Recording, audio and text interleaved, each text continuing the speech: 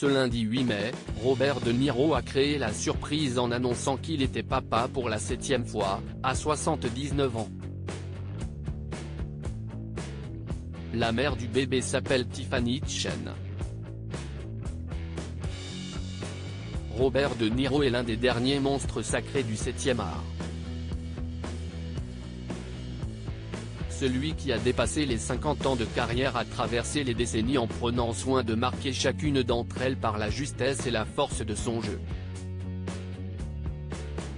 et les réalisations telles que Mean Streets, 1973, Le Parrain 2, 1974, Taxi Driver, 1976, New York, New York 1977, Raging Bull, 1980, La Valse des Pantins, 1983, Il était une fois en Amérique, 1984, Les Affranchis, 1990, ou encore Les Nerfs à vif, 1991, pour ne citer qu'elle, parle d'elle-même.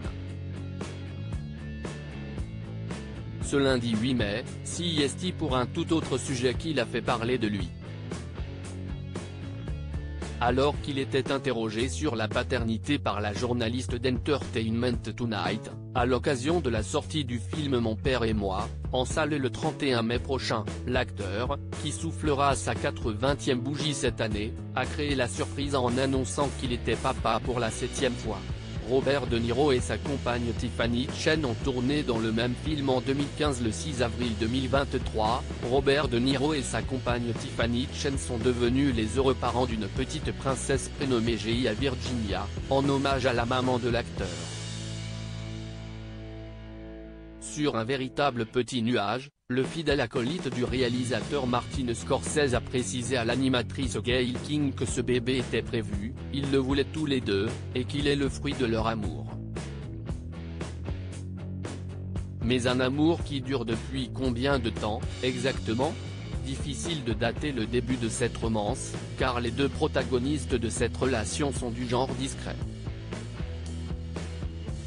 On sait toutefois qu'ils se sont croisés sur le plateau du film Le Nouveau Stagiaire en 2015. Tiffany Chen, la compagne de Robert De Niro, est une championne d'arts martiaux dans Le Nouveau Stagiaire, écrit et réalisé par Nancy Myers, Robert De Niro donnait la réplique à Nataway et René Russo, tandis que Tiffany Chen campait une instructrice de Tai Chi Chuan. Un rôle parfait pour cette jeune femme ultra sportive qui a multiplié les disciplines et a notamment pratiqué le ballet, le hula, une danse hawaïenne traditionnelle, la natation, la gymnastique, ou encore le patinage artistique. Mais c'est dans les arts martiaux qu'elle s'épanouit réellement. Fille d'un grand maître de Tai Chi, William C. Chen, elle a remporté pas moins de 43 médailles d'or, 4 médailles d'argent et 2 médailles de bronze.